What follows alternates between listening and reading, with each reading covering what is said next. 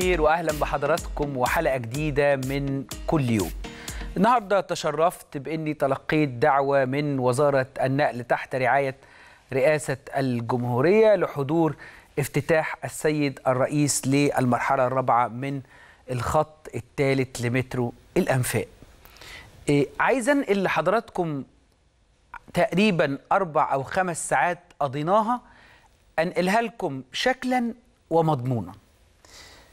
طبعا الشكل العام اللي أنتم بتشوفوه في التلفزيون ده إحنا تقريبا كده اتعودنا عليه. يعني انت متوقع إن الشاشة تفتح تلاقي يا مدينة جديدة يا طرق جديدة يا كباري جديدة يا إسكان جديد يا يعني بصراحة يعني بقت عنصر المفاجأة في الإنجاز أصبح شيء عادي. يعني وحضرتك بتفتح التلفزيون كمواطن عادي لحد امبارح بالليل انت مش عارف إن الصبح في إضافة جديدة هتحصل. لكن لما بتشوفها بنفس الشكل المتكرر منذ تقريبا أربع أو خمس سنوات خلاص أنت متعود إنه في حاجة حاصلة اوريدي يعني حاجة مش بيحطوا لها حجر أساس ولا بيقصوا شريط ولا بتاع لا مشروع قائم بالفعل. فإبهار المصريين أصبح شيء صعب لأنهم اتعودوا كل خمس أيام كده على نفس المشهد. رئيس الدولة موجود والوزراء موجودين وعلى الهواء مباشرة وبنفتتح مشروع ضخم وكبير وبأرقام كبيرة جدا. فعنصر الإبهار تقريبا ما بقاش موجود قوي.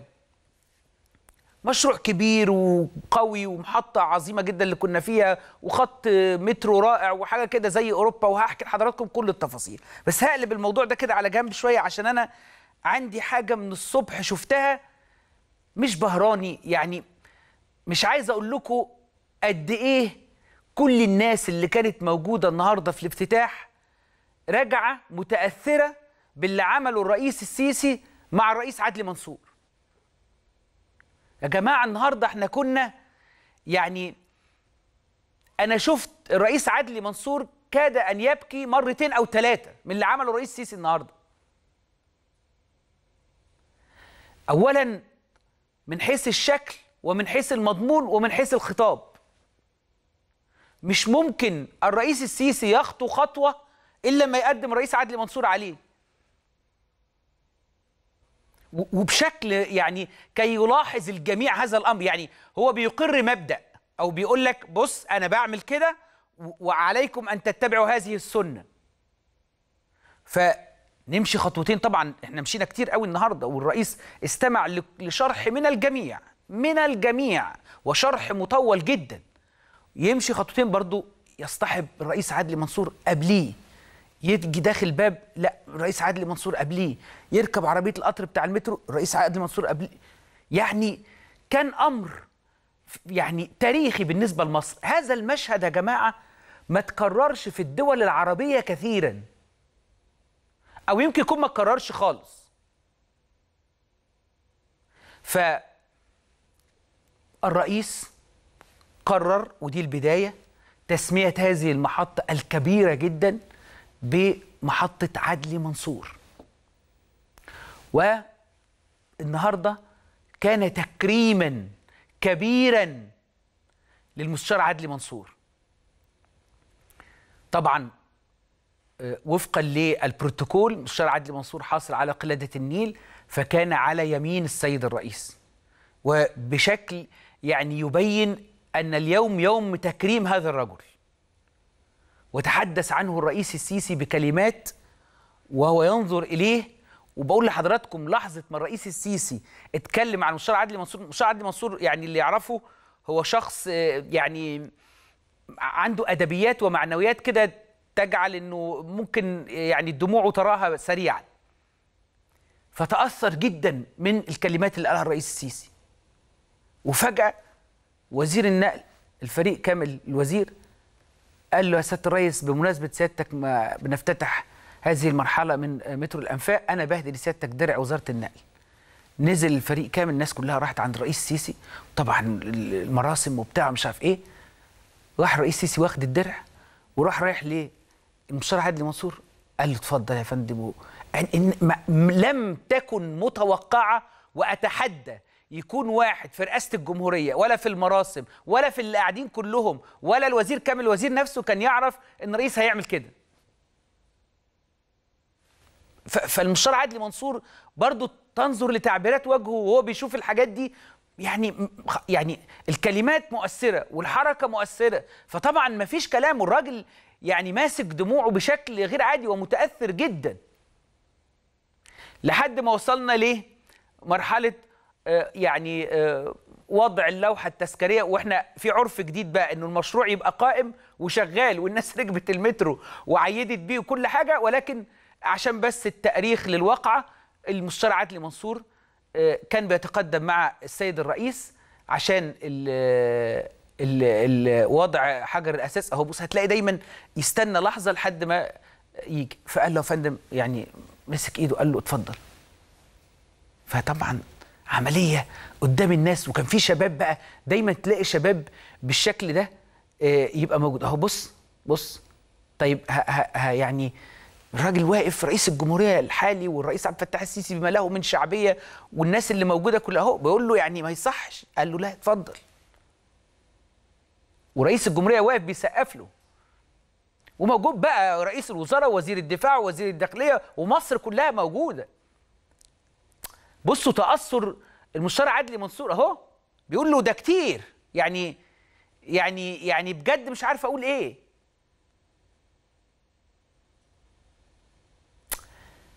يا جماعة اللي حصل النهارده ده أرجوكم تقفوا عنده كتير جدا. أنا مش مبهور بالإنجاز خدنا على الإنجازات. أنا مبهور بمصر الجديدة المؤدبة بالأخلاقيات. بأسس ومبادئ أرجوكم لا تتخلوا عنها. دي مكتسبات شعب اكتسب هذه ال ال ال ال يعني التصرفات الحضارية.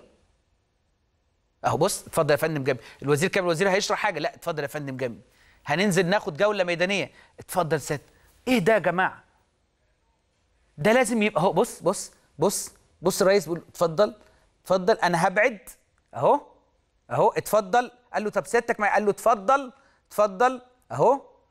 بص رئيس الجمهورية الحالي اللي هو بشعبيته الكبيرة دي اللي طبعا كل اللي واقفين دول يتمنوا بس انه إنه يعدي من جنبهم لا أنا في الخلف وسيادتك في الأمام اتفضل. قولوا لي فين ومن كام سنة حصل ده في أي دولة عربية؟ يعني فكرونا.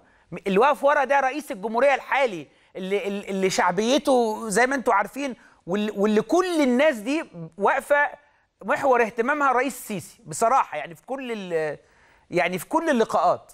لا لا هدوء تام ورئيس عدلي منصور بيضع حجر الأساس بهدوء تام وهذه هي مصر الجديدة. لازم نقف قدام المعنى.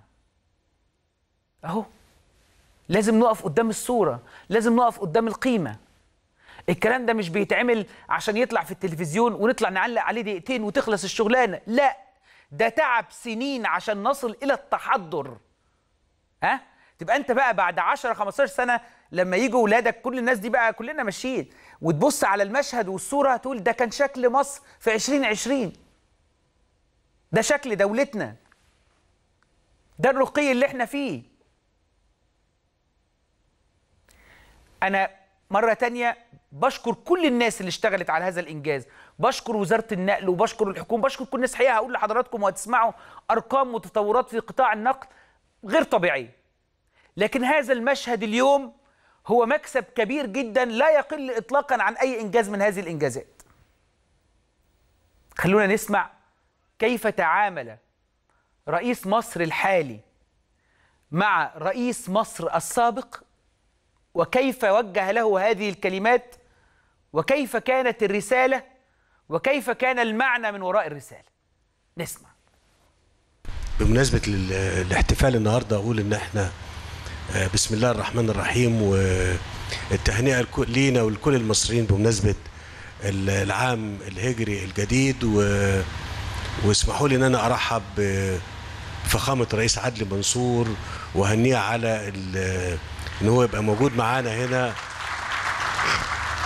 طبعا فخامة الرئيس شخصية وطنية عظيمة.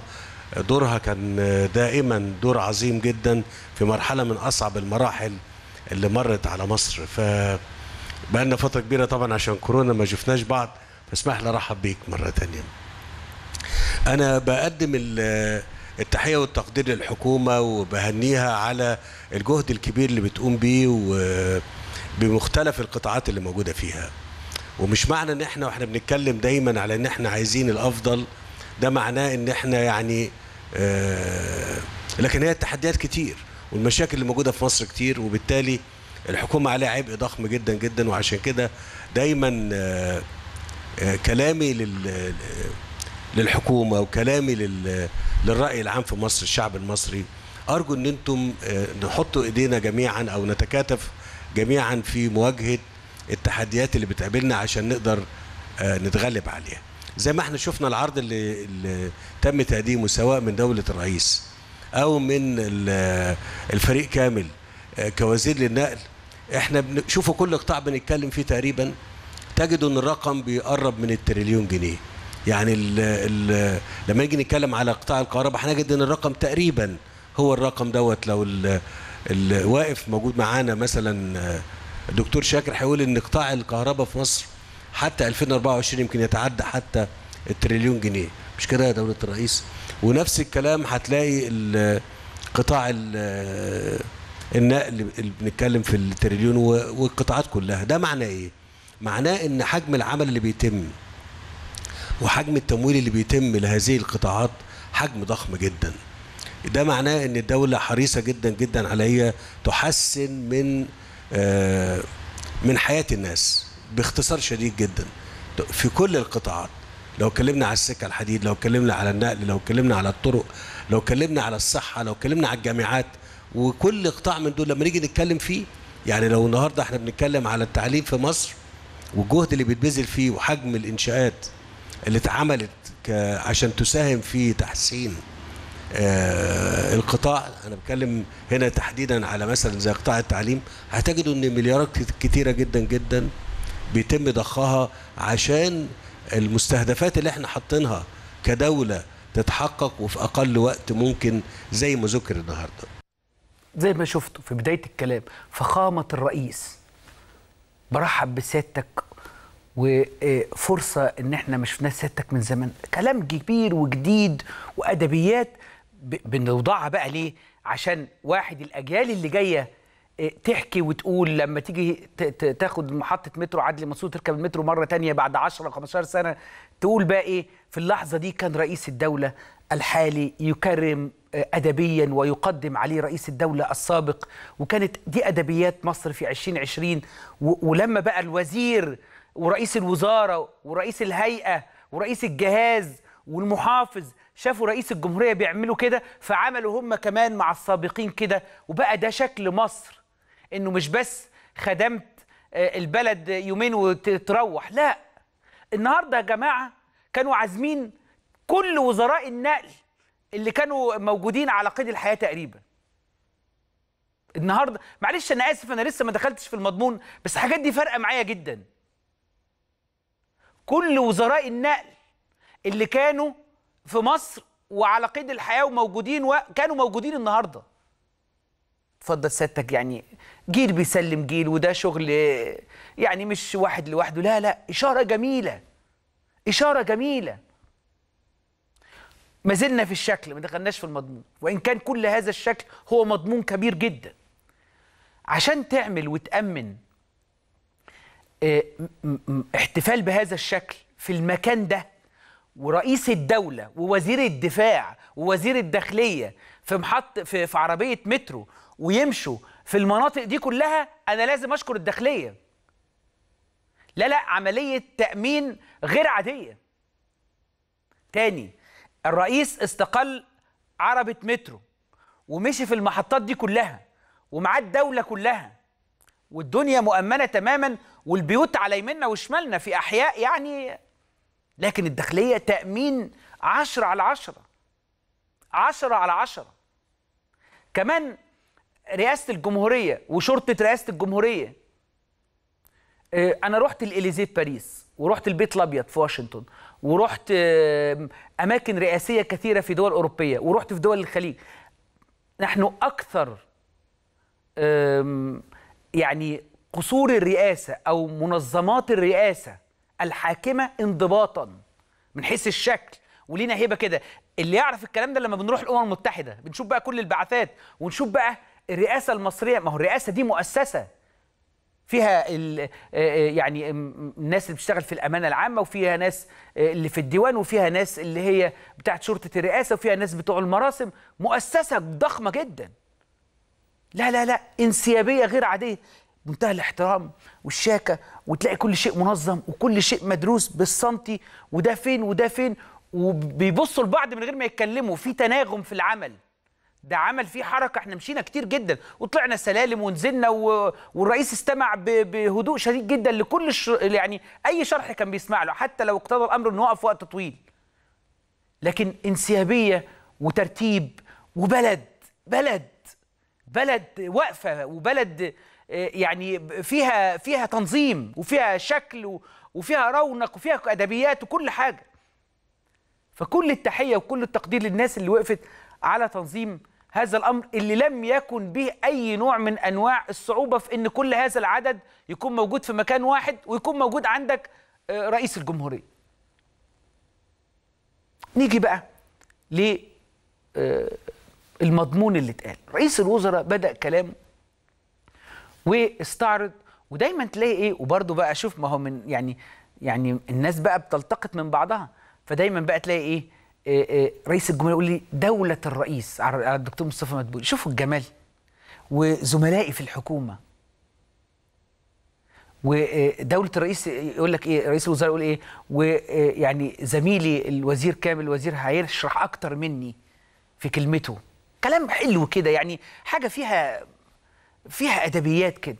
بدأ رئيس الوزراء يستعرض في بشكل مطول يعني يعني كلمة رئيس الوزراء وكلمة الوزير كامل الوزير كانت طويلة كانت طويلة بجد يعني. لكن فيها شرح لكل اللي تم في قطاع النقل في مصر طوال الفترة اللي فاتت والخطة المستهدفة لحد 2024 لحد 2024 النهارده الوزير كامل الوزير قال إحنا للأسف كانت الخدمة بتقدم. يعني نفتتح الحاجة وبعدين ما نعرفش بقى لا صيانتها ولا أي حاجة عنها ولا إلى آخره. أهم جملة قالها رئيس الوزارة واختتم بها كلامه وطابق عليها آه، آه، الوزير آه، كامل الوزير هو فكرة الصيانة واستمرار كفاءة المرفق. يا جماعة القاعدة دي هتشوفوها في كل مشروع في عهد الرئيس السيسي. فكرة أن يبقى المشروع بنفس الرونق.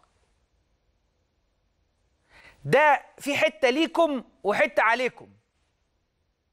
الحتة اللي ليكم أن هناك خطط موضوعة حال افتتاح أي مشروع لضمان أن يستمر هذا المشروع بنفس الجودة. مفيش كلام يعني قبل ما تفتتح هتديني خطة تقول لي الصيانة ماشية إزاي والمرفق ده هيفضل ماشي بنفس الجودة إزاي؟ لمدة سنوات طويلة. الحاجة التانية إنه الخدمات من هنا ورايح ودي معلومة أنا أستقيتها النهاردة من كلام سيادة الرئيس الخدمات اللي أنتوا تعودتوا إنها آه تبقى بتمن قليل مش هتبقى بتمن قليل. طب أنت بت... يعني الكلام ده بتقولوه في الإعلام ورئيس الدولة بيقوله ده سياسيا ما يمشيش. يعني ما... ما هو الكتالوج بتاعنا اليومين دول كده. ما... ما يعني ما فيش حزبة سياسية. في حزبة مصلحة ال- المرفق ده ومصلحة البلد دي. أنا مش هنافق حد تاني. رئيس السيسي النهارده قال مش هنقعد نضحك على الناس تاني. مش هفتتح وآخد اللقطة وأمشي. أنا عايز بعد عشر سنين محدش هيبقى موجود. تيجوا تقولوا إيه؟ لا ده كتر خير اللي عمل لأنه الدنيا ما باظتش. لما راجعت الأرقام وبيعرض الوزير كامل الوزير النهارده يقول لك إيه؟ لدينا 800 عربة قطار. حلو قوي. 360 منهم مش شغالين. 360 منهم مش شغالين؟ يبقى ما لديناش 800 بقى. طب 360 مش شغالين ليه؟ طيب حاططهم فين؟ وسنتهم قد إيه؟ وبيعمل إيه؟ فقال لك لا لا لا إحنا الكلام ده خلص. الكلام ده مش هيحصل تاني. الجرارات. لدينا مش عارف ألف جرار واستوردنا قد إيه؟ و400 عطلانين. أول ما مسكنا أول ما قال لك بقى مسكت المهمة يعني. طيب ده من كام سنة؟ قال 15 سنة وإحنا الحاجات دي بتتراكم علينا. محطة مصر ودي محطة كل واحد فينا ليه ذكرى فيها يعني. قال لك كنت بتكلم مع سياده الرئيس واضح إنه إنه قناة الاتصال بين الوزير كامل الوزير وبين الرئيس واضح إنها لحظية. يعني وفقا للكلام اللي إحنا سمعناه النهارده ده اتصال لحظي. وقرارات بتتاخد لحظيه وقرارات جمهورية بتتاخد لحظيه وفلوس بتطلع بشكل لحظي. مليارات بتطلع بشكل لحظي. وهدي لحضراتكم مثال في موضوع الترع قاله الوزير. فعرض قال والله تراكمات سنين جديدة جدا محطة مصر دي يبقى الراجل رايح من أسوان جاي على محطة مصر عشان يرجع تاني عشان يروح فين وبتاع. لا إحنا اخترنا مكان جديد. والمكان الجديد ده هنعمل فيه محطة بشكل فرعوني جديد كبير ومش هيبقى دي المحطة الرئيسية للصعيد. بس هنلقي على محطة مصر برونقها بعد التجديدات اللي حصلت فيها. اختاروا بشتيل في الجيزة. مش عارف كام و20 فدان وبتاع وحدوتة يعني. تغييرات جذرية في مجتمعنا. حاجات كتيرة جدا بتتغير. فجينا عند موضوع الترع. فقال له يا فندم ده أنا بحكي لكم اللي الوزير قاله واتذاع الهوا يعني مش قال وإحنا شغالين بيقول بقى وإحنا شغالين بنعمل ال ال ب ب هم بيبطنوا الترع. طبعا دي حاجة عمرك ما هتشوفها. يعني لو أنت ساكن في مدينة نصر ولا في الزمالك ولا في المهندسين ولا في اسكندرية ولا بتاع مش هتشوف بقى موضوع تبطين الترع ده خالص. مع إنه بياخد مليارات بياخد أرقام كبيرة جدا. فقال وإحنا بنبطن الترع طلع إن إحنا لقينا الناس بانية غلط على جوانب الترع دي كله مبني غلط. فالرئيس قال إيه؟ قال راح ال- الوزير كلمني قال لي ده أنا عشان أعدي الغلط ده لازم أعمل كوبري جوه المية. الكوبري ده هيكلفني مليار جنيه. الواحد. مليار جنيه. الرئيس بيقولها بقى وكأنه إيه؟ يعني يعني مش حرام عليكم مش كنتوا أنت أولى بالفلوس دي؟ قال لك لو ما كانش فيه آه، هذا السلوك ما كناش وصلنا لكده. وقال لك لو ما كانش فيه كمان رقابة يعني لو كانت الرقابة موجودة ما كانش تمكن الناس من المخالفة ما كناش خسرنا المليار جنيه بتاعت الكوبري. وفي الآخر قال لك إيه؟ محدش بيعمل في نفسه كده. محدش بيعمل في نفسه كده. النهارده وأنا بتفرج على الشباب الرئيس دايما بيبقى حريص على إن هم يكونوا موجودين عند إزاحة الستارة على أي مكان. أنا كنت ببص بقول الولاد دول بيملكوا كل هذا الكلام. ده ملكنا يا إخوانا. دي أملاكنا. دي مش بتاعة الرئيس السيسي ولا الرئيس عدلي منصور ولا وزير ولا رئيس وزراء. دي بتاعة الج- الجيل اللي واقف ده. الجيل ال ال الشباب اللي واقفين الصغيرين اللي أنتم شايفينهم دول دول اللي يملكوا هذا الكلام. المليارات اللي اتحطت دي ملك لكل هؤلاء. اللي بيقدمهم الرئيس عليه. نحافظ عليها بقى. يعني لما يقول لك رقم زي 10 مليار جنيه في الطرق في القرى. خلي بالك في مصر ال- ال- اللي بيحكمها الرئيس السيسي مفيش آه، لوحة تذكارية لبدء المشروع. لا ده المشروع بيشتغل والطرق بتشتغل والإسكان بيطلع والدنيا وبعدين نروح نفتتح. خلونا نسمع جزء من كلمة الرئيس السيسي وأرجوكم أن تفخروا بما تملكوا ده ملكك ده صنع إيديك. النهارده شفت آه، المهندس محسن صلاح رئيس المقاولين العرب. حاجة فخمة جدا وهو قاعد شريك استراتيجي خطير جدا مع الدولة المصرية في كل حاجة. النهاردة شفت حسن علام الجيل الثاني من أبناء حسن علام رجل الأعمال المعروف شريك استراتيجي تقيل جدا مع الحكومة في مشاريع. شفت الوزير وهو بيتكلم عن أوراسكوم.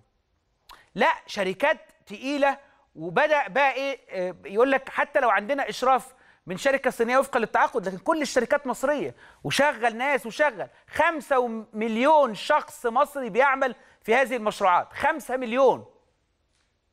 وفقا لكلام السيد الرئيس مع وزير النقل. وتشوف بقى تتكلم مع حسن علام اللي هو إحنا نقدر نعمل قد كده عشر مرات. شركة تقيلة بقى ووضع وبتاع بقول لك شريك استراتيجي واقف كله فخر بقى صنع إيديه وصنع أبناء شركته. شوف المهندس محسن صلاح تشوف لا لا ده أنا أعمل قد كده عشر مرات. خلاص بقى في ثقة. خلاص بقى في تكنولوجيا جديدة بقى في سرعة أداء. مفيش حاجة اسمها متأخر في الجمرك ولا بتاع. مفيش اللغة دي. لا لا بكرة. بيقول له يا فندم أصل دي آه، إحنا خلصنا دي. قال له طيب يا سيدي خلصت الترعة ما تعمل جنبها ويمينها الطرق بقى وتخلصت قال له يا فندم يمكن أحتاج آه، قال له معاك فلوس ولا أبعت لك؟ خلص الموضوع ده فورا.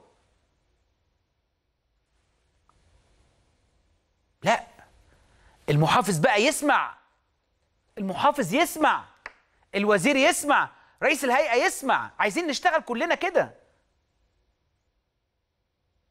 عايزين نشوف يعني سيب سيبك من من من من اللي فات لأن واضح إن اللي فات ده كان آه، الشعب المصري حسب عليه أشياء كثيرة جدا. والله العظيم والله العظيم والله العظيم ثلاث مرات أهو وحاسبونا على الكلام ده ل 20 سنة جاية إن ربنا ادانا عمر. كل ما نراه من إنجاز في موضوع التنمية أقسم بالله نتأكد تماما من صدقه ودقته بشكل غير عادي.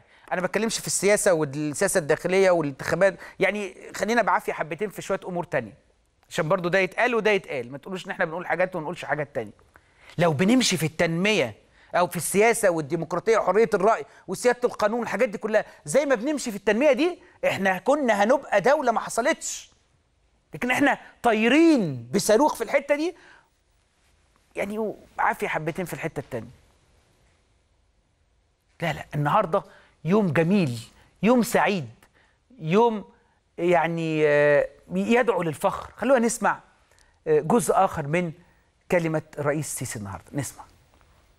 مفيش تعدي على حرم الترعة أو المصرف أو الرياح.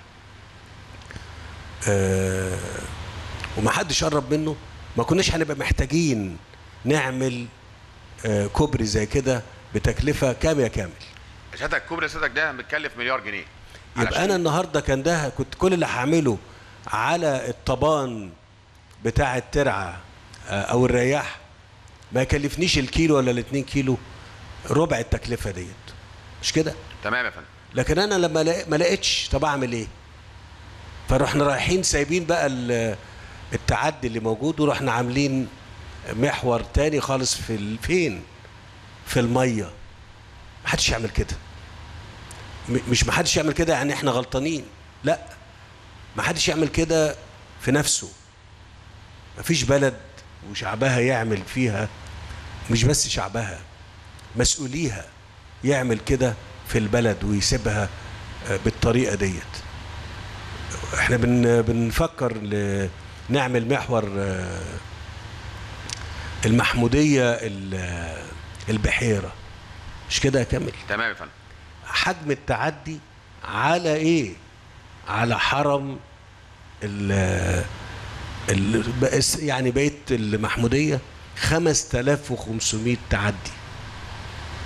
طب أنا يعني يعني عايزيننا نعمل ونبني بلدنا و ونبقى فرحانين بيها ولا إحنا برضو نفضل هنصر على إن إحنا ندور على آه، بنظرة ضيقة؟ وبالمناسبة أنا مش ضد ابدا إن الناس تبني وتعمر بس إحنا عايزين نبني ونعمر في مجال أو في بما يعني لا يعني يسبب مشاكل كبيرة جدا جدا. بصوا بقى نغمة الهدوء دي من بكرة وأنا بقول لحضراتكم وهتشوفوا. كل التعديات اللي هتبقى موجودة بعد ما بطن الترع والطرق اللي جنبها والحاجات دي كلها هيبقى فيها ردع غير طبيعي مش هيسمح بده تاني أبدا. أبدا. ال ال الكتالوج بتاع الدولة في حكمها اليومين دول عبارة عن قسوة شديدة في تطبيق القانون في حالة المخالفة. قسوة شديدة جدا. ويبدو إنها مقصودة للردع يعني أتخيل إنه تعليمات السيد الرئيس لوزارة الداخلية في موضوع مخالفات البناء ردع كامل. لأنه البلد اتشدت. البلد اتشدت. يعني الداخلية اللي عملت الحظر بهدوء ولطف وبعد إذنك ولو سمحت وعايز أعدي عشان مش عارف إيه اتفضلي يا فندم ومعلش وأنا عارف إنك نسيتي ومش عارف إيه. الداخلية اللي عملت الحظر ده مروقة البلد في موضوع مخالفات البنى. شدنا شدة مش طبيعية. مفيش خمس بيوت من مصر ما فيهمش بيت مش الداخلية طايلة لها ان في مخالفة بنى. وشده إيه بقى؟ مفيش هزار. واضح ان ده اللي جاي بعد كده. مخالفات آه، بنى من غير ترخيص اعتداء على أراضي آه، تبوير أرض الترع وتاخد ت- ترمي فيها. المش... واضح ان التعليمات جاية ضرب بيد من حديد بالقانون. وزي ما قلت لكم تاني الخدمات مش هتكون ببلاش زي زمان أو ما فيهاش دعم أو ما فيهاش لازم ال... ال... ال- لازم المترو يكسب بعد كده. لازم المترو هيكسب لازم السكة الحديد هتكسب. الأسعار غليت. غليت إمتى؟ دلوقتي. يعني الصبح افتتحوا النهارده أيوه. طب ده سياسيا يعني ما هو عشان يعني احتفل مع الناس 20 يوم وبعدين غل. لا لا لا. طب وال 20 يوم أنا ما أنا أولى بيهم. فكر ملوش علاقة ب ب بسياسة أن تبقى في الحكم كثيرا أو أن تبقى محبوبا كثيرا أو يعني لو في أجهزة بتقعد تقيس الحاجات دي هتقول كل الكلام ده ضد شغلي. ف ف أمر غريب. يعني أمر في, في, في يعني الأجهزة الأمنية دي بتعمل إيه للرؤساء؟ في كل الدول العربية وفي إفريقيا وفي كل الدول. تقول له والله بص يعني أنت لو عملت دي إيه، الشارع يرتاح بقى والدنيا تبقى تمام بتاع إحنا نفتح المترو النهارده يطلع الناس مبسوطة لأنه فعلا حدث كبير. ويتكلموا عنه والجرايد الصبح تتكلم عنه وانت عامل عمل ضخم. بعد 20 يوم بقى غلي التذاكر. لا لا. النهارده. أمور يعني ما تمشيش مع فكرة آه، آه، إن الناس تحبك قوي. لأنه وقت ما أنت بتدفع التذكرة هتبقى غالية. بس المعادلة دي بقى مش موجودة عند رئيس سيسي. وبقول لكم مرة تانية النهارده اتكلم في موضوع آه، آه، تراخيص البنى. قال لك الشهر موجود بتاع المهلة اللي إحنا سمحناها لمن هم آه، عندهم جدية في التصالح ثم الست أشهر اللي إحنا قلنا عليها.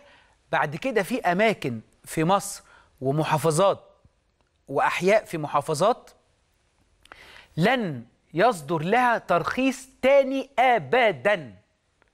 لو ترجمتوا الجملة دي في ناس كتيرة قوي هتعيط عشان أكون صريح معاكم.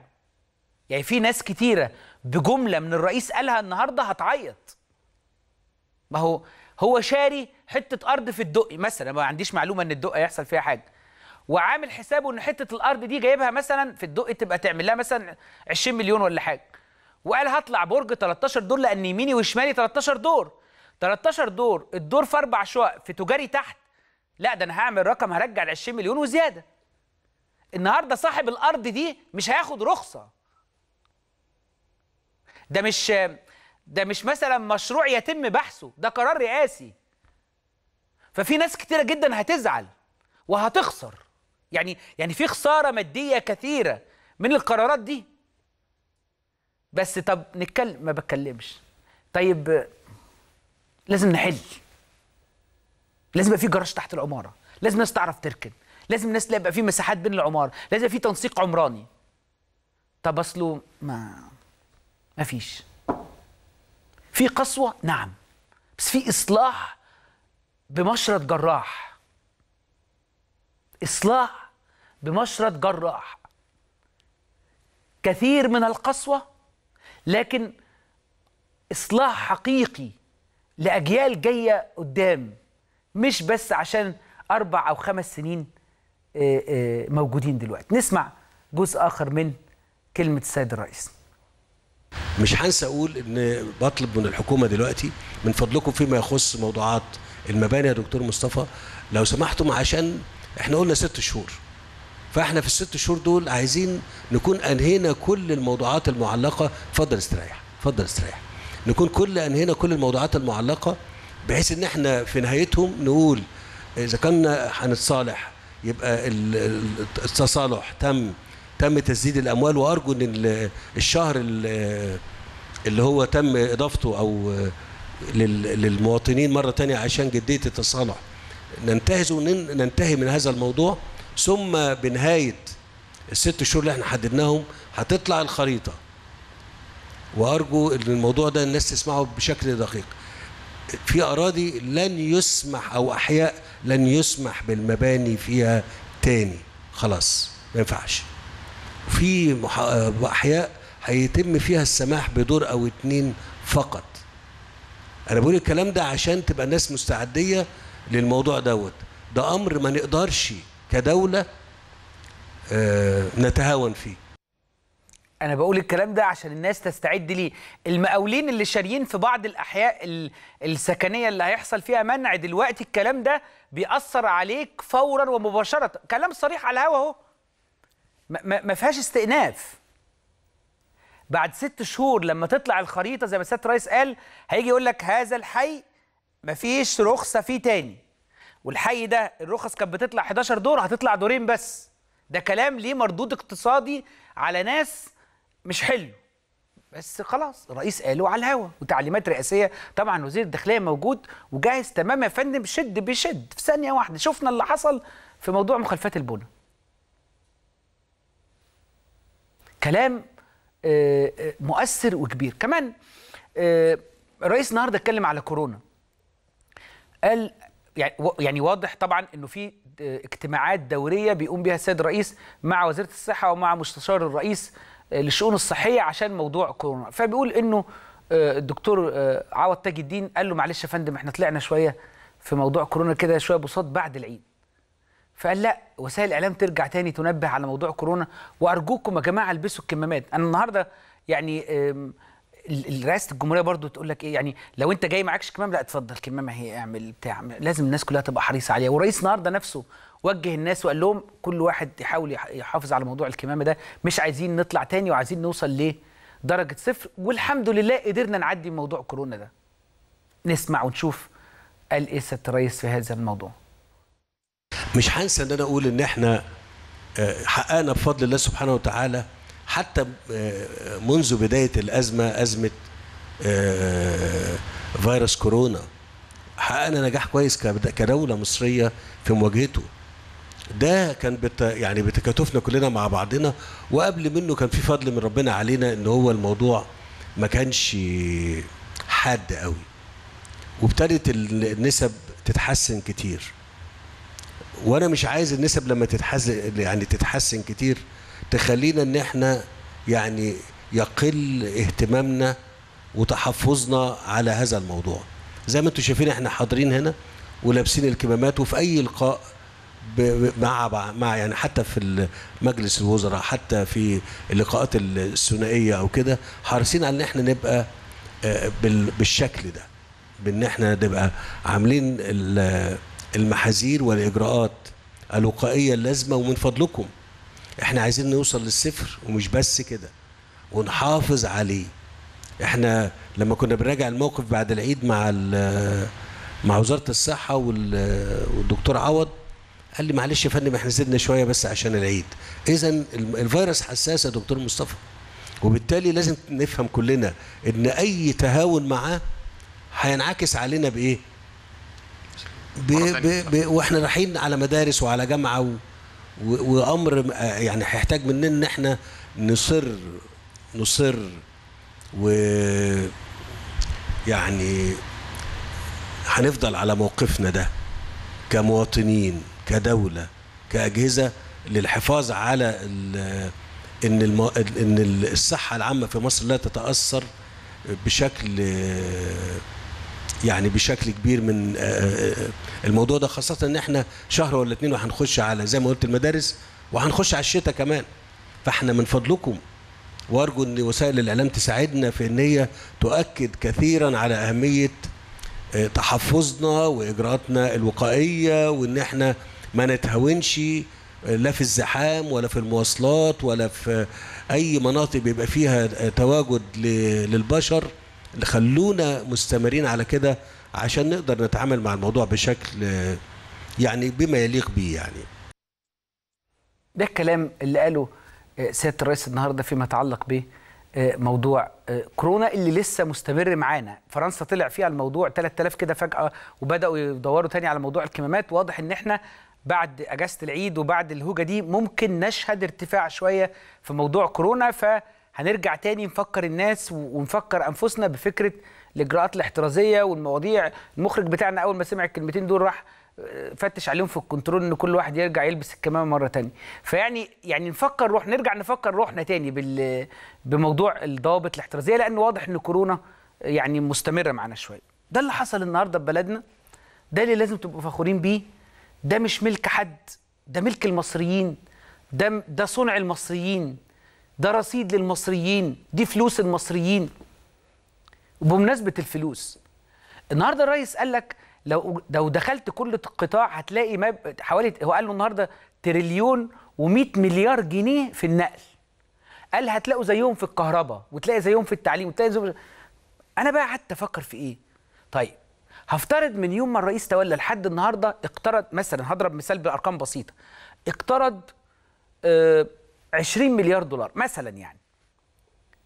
ده اللي مصروف قد كده 20 مرة.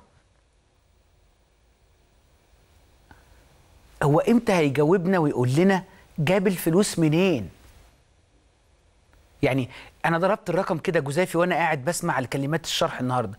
هفترض إن إحنا استلفنا من 2014 20 مليار دولار.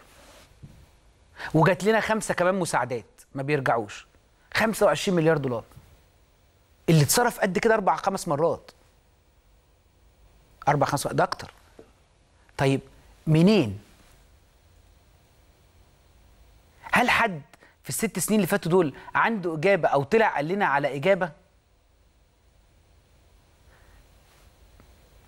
أنا عايز أقول لحضراتكم إحنا شغالين في مشاريع آه، مش بس موازنة الحكومة ولا آه، تحيا مصر ولا اللي بتعمله الهيئة الهندسية ولا آه، الوزارات المعنية ولا الحاجات دي كلها. شغالين في مشاريع استراتيجية كبيرة جدا بتقوم بها أجهزة سيادية.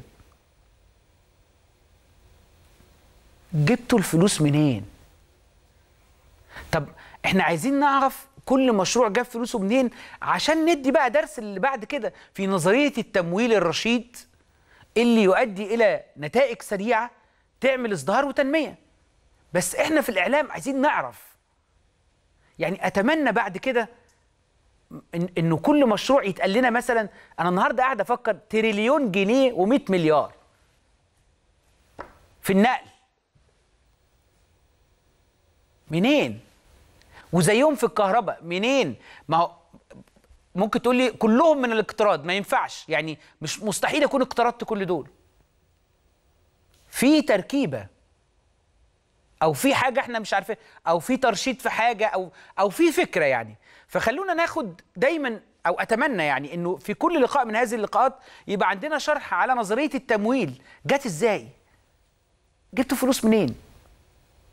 وتتفرد مصر سجلوا الكلام ده في 2020 تتفرد مصر كبلد عربية ودولة من دول العالم الثالث وفي أفريقيا إن الشعب يسأل الرئيس بتجيب فلوس منين عشان تعمل لهم الكلام ده.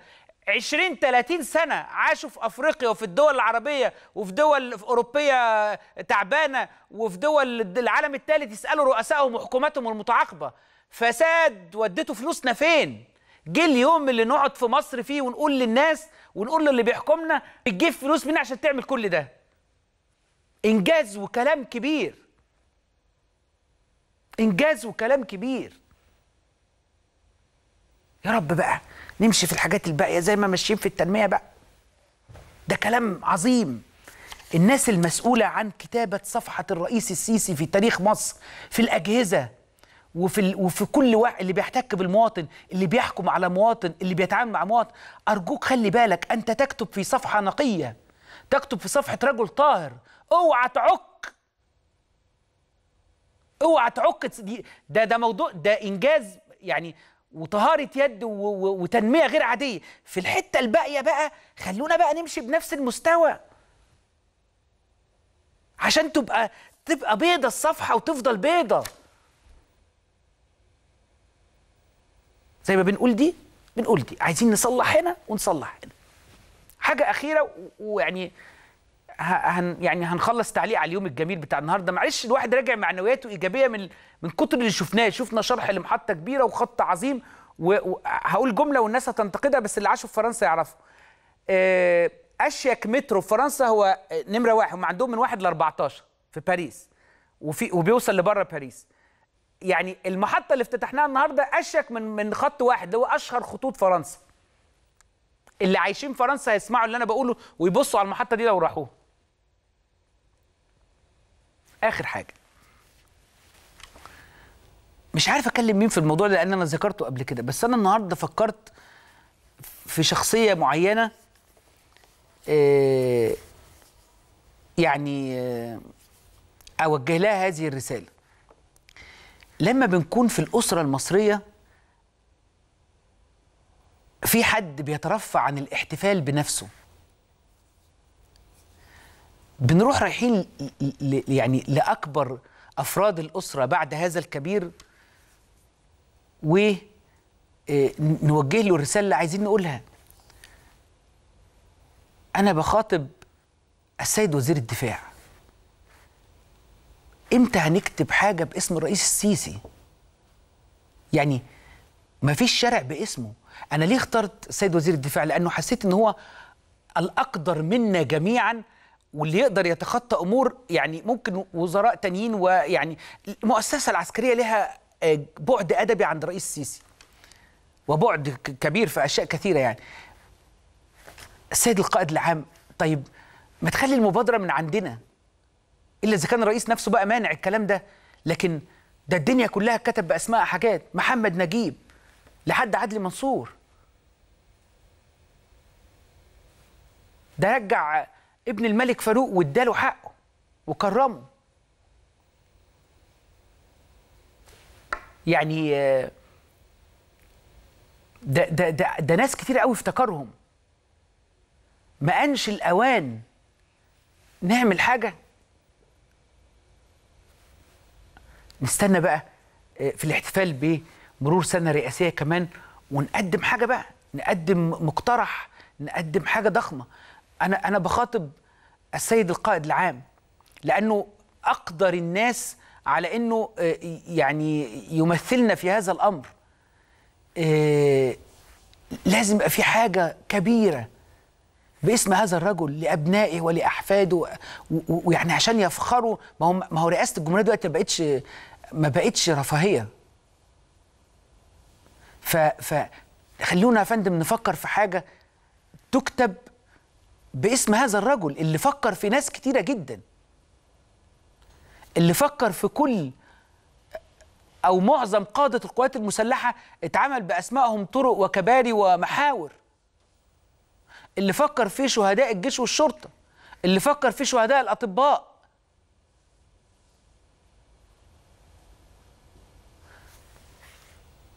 اللي فكر فيه إعلامية كبيرة زي صفاء صفاء حجازي. كل الناس مين هيفكر و و و ويساعدنا عشان نعمل حاجة باسم الرئيس السيسي أصبح دلوقتي الموضوع بحقه. أتمنى إن إحنا نفكر في مشروع كبير في مدينة كبيرة في, مش عارف أقول في إيه بس يعني واكيد آه، آه، السيد القائد العام أقدر منا على إن هو يمثلنا في هذا الأمر.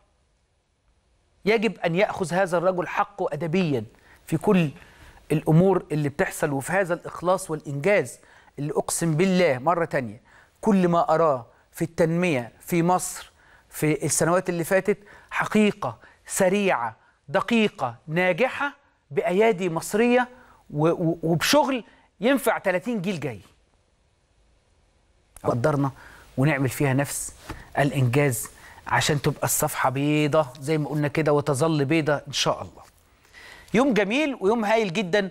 عشنا فيه افتتاحات مصرية تتكرر دائما آه، بصورة اعتدنا عليها طوال السنوات الماضية. نفخر بها جميعا. نتاج عرق وجهد وتعب كثير من أبناء مصر من العمال والمهندسين والشركات المصرية العامة والخاصة وتضافر كل جهود أجهزة الدولة كي تخرج هذه الصورة الرائعة. فاصل ونرجع نكمل باقي فقراتنا في كل يوم. خليكم معنا.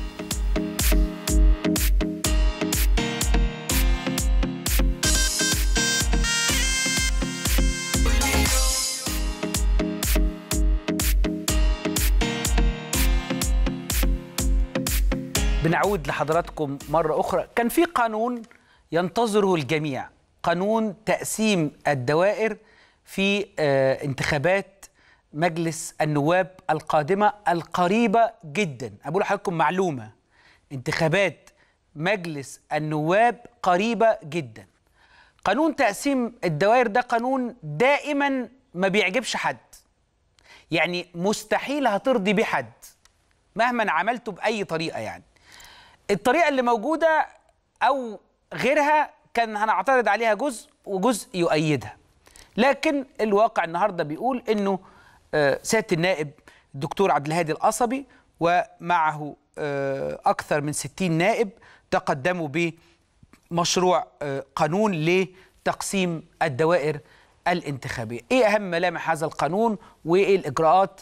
معي على الهاتف النائب الدكتور عبد الهادي الاسد معانا طيب يعني هيجي معانا على التليفون عشان يشرح لنا كيف آه، تقدم الائتلاف بهذا مشروع القانون. طبعا اللجنه التشريعيه في الأول بتناقش هذا الأمر. هتلاقي ناس كتيرة جدا آه، معترضة. ناس يقول لك خلاص أنا كنت عايز أنزل فردي لكن الدايرة كبيرة عليا مش هقدر.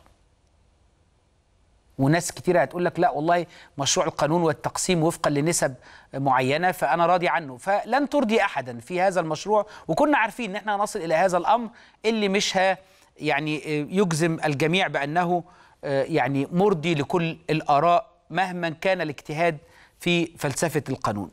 آه، معنا النائب الدكتور عبد الهادي القصبي رئيس ائتلاف دعم مصر. سيادة النائب مساء الخير. مساء النور يا فندم. ازي حضرتك يا فندم؟ أهلا وسهلا أستاذ خالد أهلا بيك يا فندم. يعني أنا بسعد دائما بوجودك معايا لاحترامي الكبير لشخصك.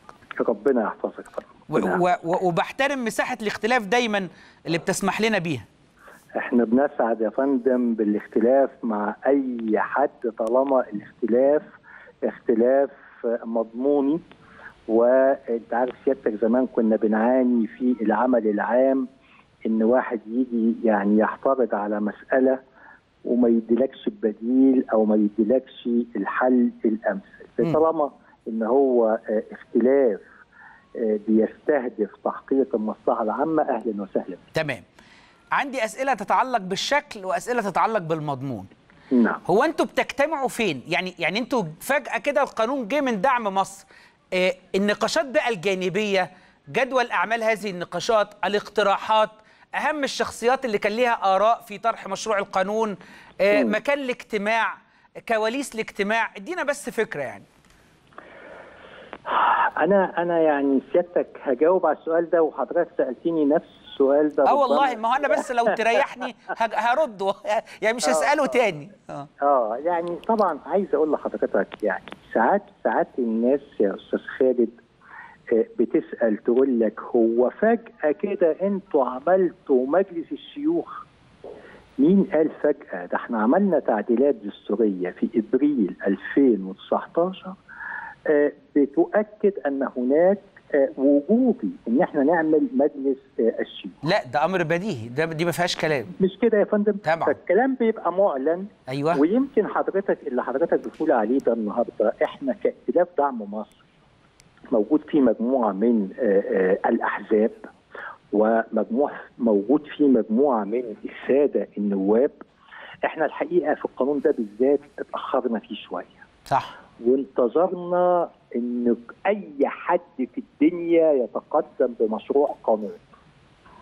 وفضلنا الحقيقة مستنيين يا أستاذ خالد لحد ما لقينا إن الوقت الفصل- التشريعي الحالي ها يكاد ينتهي وأصبح لابد من الإعداد لإجراءات انتخابية في الفصل التشريعي التالي. وبالتالي كان لازم نتصدى ليه؟ أنت سيادتك طبعا عارف إن إحنا عدلنا مجموعة من القوانين. كان من ضمنها القانون 46 لسنة 2014 الخاص بقانون مجلس النواب صحيح وأن هذا القانون في مادته الأولى حدد أن عدد آه، آه، آه، أن يشكل هذا المجلس من 568 م- عضو. مفهوم يا فندم مفهوم مش كده يا فندم؟ تمام. لا الجديد هنا إيه يا فندم؟ الجديد هنا إن أنا أصبحت أمام شكل انتخاب مجلس بشكل جديد اللي هو أستاذ خالد 284 بنظام الفردي و284 بنظام القوائم. وبالتالي آه، آه، تقسيم الدوائر هنا بقى كان لابد أن يختلف لأن سابقا عدد النواب لا أن- أنت كده سيادتك دخلت في المضمون أنا هرجع لسؤالي الأول أيوه فندم الشكل لسه آه إحنا لسه في سؤال الشكل. خلينا أنتم بتجتمعوا فين؟ إحنا حضرتك في يعني اجتماع دائم متعلق بالحياة التشريعية كل يوم. كل يوم حضرتك أعضاء الائتلاف بيلتقوا بالأحزاب اللي موجودة. اولا لو في اجتماع مجلس موجودين داخل المجلس وبنناقش العملية التشريعية اللي هي الاختصاص الأصيل للمجلس. أيضا هناك اجتماعات بتتم في آه، آه، آه، المكان المخصص لائتلاف دعم مصر اللي موجود في المبنى الخاص بالائتلاف اللي موجود في التجمع الخامس لما بنلتقي في أوقات معينة بعد مواعيد العمل بتاعة ال- المجلس. وبالتالي عندنا أجندة تشريعية ما بنشتغلش من الهواء ما فيش حاجة بتيجي بتتولد فجأة. عارفين واجباتنا التشريعية عارفين الاستحقاقات يعني. طيب ده من حيث المكان. كم استغرق من الوقت إعداد مشروع القانون ده؟ ده مشروع من المشروعات يا أستاذ خالد وحضرتك أستاذنا وعارف العفو يا فندم. ان ان إن المسألة دي بتحتاج بتحتاج جهد دقيق جدا طبعا عشان أهم حاجة في القانون ده مراعاة الضوابط الدستورية والقانونية مم. لابد إن إحنا ناخد بالنا من المواثيق والاتفاقيات صحيح. الدولية اللي مصر موقعة عليها وبالتالي أي خطا أي خطأ في هذا القانون يعني قد يسبب مشكلة طبعا. وبالتالي لابد هنا هنا هو ده الفلسفة اللي إحنا انطلقنا. من خلالها وبدأنا نشتغل بقواعد وضوابط آه، آه، دستورية وبدأنا نحط أسس نشتغل عليها. لما جينا نقول إحنا عايزين نعمل الدوائر المقترح صح ده, ده منهج العمل اللي إحنا لسه برضه هندخل فيه. كم من الوقت استغرق الإعداد لمشروع القانون؟ لا مشروع القانون خد وقت طويل جدا آه. خد وقت طويل جدا خد مراجعات كثيرة جدا اشترك فيه يعني مجموعة من أساتذتنا آه، اللي إحنا بنحترمهم من القامات الدستورية اللي موجودة ورجال القانون اشترك فيه مجموعة من السادة رؤساء الأحزاب اشترك فيه مجموعة من آه، آه، السادة النواب. طبعا قانون آه، يعني حساس. هل كلهم كانوا من ضمن أعضاء الائتلاف ولا استعنتم بخبراء من الخارج؟ والله استعنا بخبراء من الخارج و و و وأنا سعيد جدا إن إحنا شاركنا في هذا آه، آه، يعني في هذا الإعداء. أيضا مجموعة من الأحزاب خارج الائتلاف اللي تفضلوا وادلوا بدلوهم ونصائحهم في هذا آه، الأمر. عظيم. اذا من حيث الشكل وبإقرار الدكتور عبد الهادي القصبي أن ائتلاف دعم مصر آه، آه، آه، في مقره اجتمع بأعضائه وناقش وتباحث وصاغ وأخرج لنا مشروع هذا القانون واستعان بعدد لا بأس به من الخبراء القانونيين ورؤساء الأحزاب. كده انتهى سؤالي عن الشكل. ندخل بقى في المضمون. دائما هذا القانون يعجب البعض ولا يعجب البعض الآخر يعني لن ترضي أحدا وهو عمل من أعمال البشر فطبيعي من لن. يتفق عليه أحد ف, نعم. ف آه، هل النهارده وأنت تطرح هذا القانون ممثلا عن ائتلاف دعم مصر ومعك أكثر من 60 عضو هل وجدت ترحاب كبير الأمر كان آه، يعني بعض مؤيد وبعض معارض شوف بطبيعة الحال حضرتك أي عمل بتطرحه حتى قبل المناقشه بيكون في عدد مؤيد وهناك من له وجهة نظر تحترم. وبطبيعة الحال يمكن في القانون ده بالذات لو أنا هبص فيه من المصلحة الخاصة والشخصية أول حاجة عيني هتيجي عليها الدايرة بتاعتي صح. والتقسيم بتاعها وعصبياتي والكلام ده فربما يعجبني أو ما يعجبنيش بس انت يعني انت في أي دايرة سالك يا سياده النائب يعني ربنا رب رب ربنا يعني ربنا يكتر من محبيك يعني ربنا يحفظك يا آه. فندم الحقيقة يا فندم آه، يعني سيادتك عارف إن القاعدة الأساسية في القانون أن القانون قواعد عامة مجرده. فإحنا هنا بدأنا نحط قواعد عامة منضبطة عشان ما يبقاش فيها هوى ولا شخصنه بس بس الدوائر كبيرة عن النواب الفردي. يا فندم آه، آه، المنطق يا أستاذ خالد منطق جميل جدا. إحنا بنتكلم حضرتك النهارده إن شكل المجلس بالكامل اختلف. أصبح عندي القايمه 200 284 سابقا كان عندي 120 يبقى عدد المقاعد بتاعه القايمه زادت. وبالتالي عدد المقاعد السابق اللي كان سابقا 448 مقعد بطبيعة الحال نزل. وبالتالي يبقى طبيعة الحال إن الدايرة هتزيد.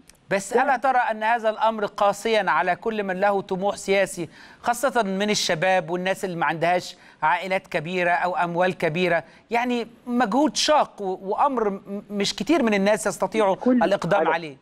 على فكرة يا فندم مش كل الدوائر آه، آه، اتسعت بالشكل بالعكس ده الناس كانت متوقعة إن الدوائر هتبقى أوسع من كده. يعني ربما دي أحد المفاجات النهارده إن الناس لما شافت آه، الدوائر معمولة إزاي لا ديت وجدت صدى طيب لأن الناس كانت متوقعة كنتيجة طبيعية إن الدوائر هتزيد أكتر من من كده.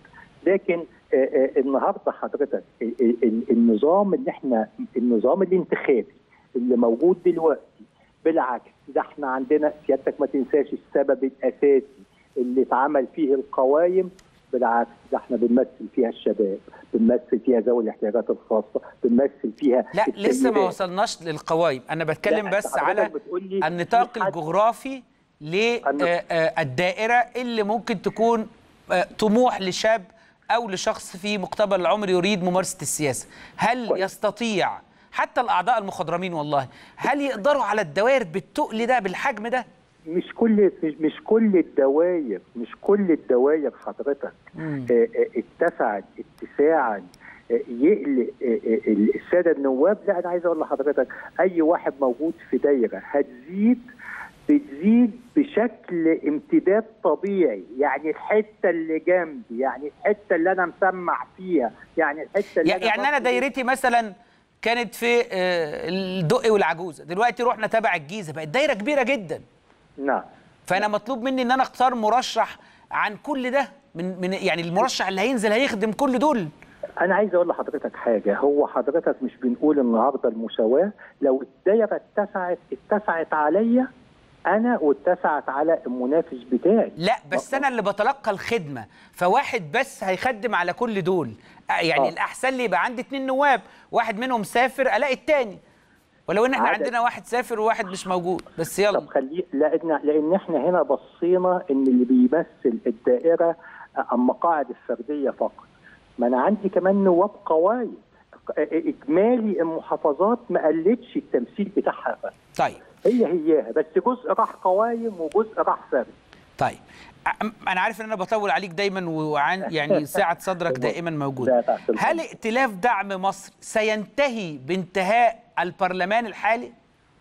نعم بطبيعة الحال إن الائتلاف اللي موجود دلوقتي كان موجود من تشكيلة من عدد أعضاء مجموعة من الأحزاب اللي نجحت في الانتخابات السابقة. مم. حزب الحزب الفلاني كان ليه عدد نواب قد كذا والحزب الفلاني كان ليه قد كذا وعدد من المستقلين كل دول ميعادهم بينتهي يوم 9 يناير 2020 امم 21 وبالتالي 20 تنتهي و- تجربة و- الائتلاف بشكل عام ولا ائتلاف. دعم مصر حتى هذا التاريخ؟ يعني ممكن مثلا في البرلمان القادم تقول لي والله إليك ائتلاف حب مصر. أو مستقبل مصر أو أي حاجة يعني يعني هل ده وارد مطروح؟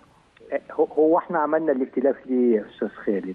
عملنا الائتلاف عشان يكون هناك أغلبية داخل المجلس مم. ودي مجلس. الحقيقة في عدد من القوانين آه ما فيش مجلس في الدنيا صحيح. ينتهي إلا بوجود أغلبية لازم لما. نختلف يعني نسأل الأغلبية مين موافق على إيه ومين مش موافق على إيه وبالتالي الأغلبية داخل المجالس بس لو في حزب حصل على الأغلبية في خلاص. البرلمان القادم يبقى لا معنى لوجود آه، يعني ائتلاف. أنت عايز أنت بتستهدف الأغلبية فإذا ما حصل حزب بمفرده على الأغلبية أصبح هو حزب الأغلبية ويحقق الهدف داخل المجلس النيابي ايا كان اسم هذا المجلس محلي أو على مجلس آه، آه، نيابي على مستوى آه، الجمهورية. وبالتالي هنا إحنا بننتظر نتيجة الانتخابات إذا أحد الأحزاب استطاع إن هو يحقق الأغلبية شكل هذا الحزب الأغلبية داخل المجلس إذا حزب أو اثنين اجتمعوا يستطيع إن هم يعملوا ائتلاف مع بعضهم ويشكلوا الأغلبية ولكن لا يوجد مجالس في العالم أجمع بدون أغلبية. ايا ما كان الأمر آه، نتفق أو نختلف على أداء آه، يعني هذا الائتلاف لكن سأتفق دائما على خلق ومكانة الدكتور عبد الهادي القصبي اللي بشكره. شكرا جزيلا واللي يعني آه، أدى اداء وطنيا لم يغيب عن تاريخه ابدا. بشكرك سيادة النائب. شكرا جزيلا. التفاصيل بقى والحواشي وإيه اللي تم في الدار القانون ده يا جماعة قانون تقيل جدا. قانون يعني محتاج إدارة في اللجنة التشريعية وفي الجلسة العامة آه، تقيلة وعايز يفهم النواب بالراحة. في ناس هتزعل وفي معطيات كثيرة. فإدارة النهارده الجلسة التشريعية لم تكن من وجهة نظري. يعني أمر يحتاج لمحترفين. وكان النائب إيهاب الطماوي وكيل اللجنة هو اللي بيترأس الاجتماع. وهو معايا دلوقتي على التليفون وهو أقدر منا على شرح كل هذه التفاصيل. سيادة النائب مساء الخير. سيادة النائب إيهاب الطماوي. مساء الخير يا دكتور خالد. إزاي حضرتك يا فندم؟ أهلا بيك يا دكتور أهلا بيك. يعني كان الله في العون. النهارده آه، طرح آه، مشروع القانون آه، الإجراءات مشيت إزاي؟ هو بمجرد إحالة الدكتور علي عبد العال مشروع القانون إلى لجنة الشؤون الدستورية والتشريعية. آه، قمنا باختار السادة النواب آه، باجتماع للجنة في الرابعة من عصر اليوم. وبالفعل هو هو سيادتك أخبرت بيه إمتى؟ يعني بمجرد آه، ما أحاله الدكتور علي عبد العال. ال- بمجرد دي الساعة كام يعني ولا يوم إيه؟ النهارده آه. مشروع القانون أحاله الدكتور علي عبد العال في بداية الجلسة العامة. فسيادتك آه، أخبرت النواب ان حوالي- الساعة 4 اجتماع اللجنة. آه بالظبط كده. وأعضاء اللجنة أصلا كانوا منعقدين آه صباح اليوم لمناقشة عدد من الاتفاقات الدولية ومشروع قانون بتعديل آه، قانون العقوبات. ويعني أعضاء اللجنة آه، آه، كلهم تقريبا كانوا موجودين في الجلسة العامة. ومعظمهم كان يعلم إن مشروع قانون تقسيم آه، دوائر مجلس النواب سيتم تقديمه من ائتلاف دعم مصر اليوم. ونظرا لأهمية مشروع القانون و آه، آه، آه، من المتوقع إحالته فورا إلى لجنة الشؤون الدستورية والتشريعية. بالفعل دعينا اللجنة واخترنا الساده النواب أعضاء اللجنة بالاجتماع وتم طباعة كمية كافية من مشروع القانون ومذكرته الايضاحيه لتوزيعها على جميع الساده النواب الراغبين في حضور المناقشات خاصة أن القانون معظم السادة النواب أو كل السادة النواب مهتمين. بكافة تفصيلاته. طبعا. آه، يمكن يمكن آه، الحضور آه، داخل لجنه الشؤون الدستورية والتشريع حضور واسع جدا من كل السادة النواب آه، سواء من الأغلبية آه، أو من المعارضة آه، بيغطوا تقريبا ال 27 محافظة بالإضافة إلى حضور آه، قيادات ائتلاف دعم مصر والمعارضه اللي موجوده داخل المجلس. بالإضافة للساده النواب أعضاء لجنة الشؤون الدستورية والتشريعية آه، بطبيعة الأمر.